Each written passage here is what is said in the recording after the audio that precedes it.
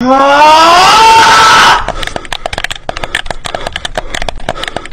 me give you some advice. Uh, when you want to end on a miss, what you want to do is, if the uh, basket is this way, you're going to want to do one of these.